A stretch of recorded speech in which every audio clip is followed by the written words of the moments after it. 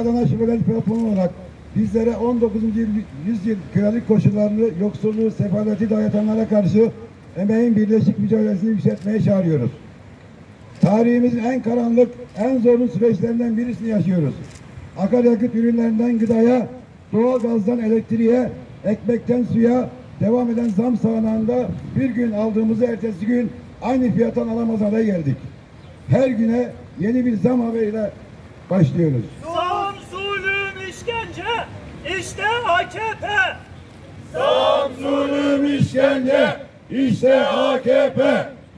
Zam zulüm işkence, işte AKP.